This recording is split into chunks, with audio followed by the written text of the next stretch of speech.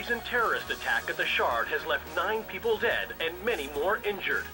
According to a Callaghan staff member, a security breach led to a series of catastrophic outages in the Shard's many public protection systems, causing havoc not just at the Shard, but throughout the city. The suspects in the act are none other than the former CPF officer and accused murderer Kate Connors and her sister Faith Connors. Although the scope and precise cause of the outages is as yet unclear, many troubling questions have emerged in their wake, including the role of the so-called runners in the destabilization of city operations. In the aftermath of the incident, local security firm Pirandello Kruger will be assisting the CPF.